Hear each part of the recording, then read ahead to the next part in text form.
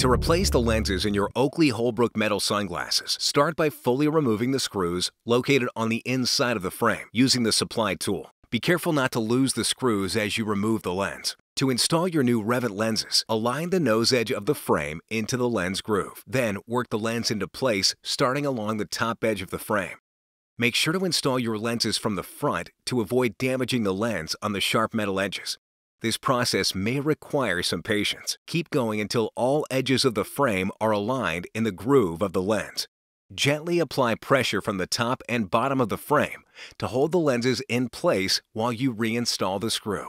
Tighten the screw until it feels secure and the gap in the frame is fully closed. Last, we recommend you go around the perimeter of the lens, applying pressure to ensure they're locked in.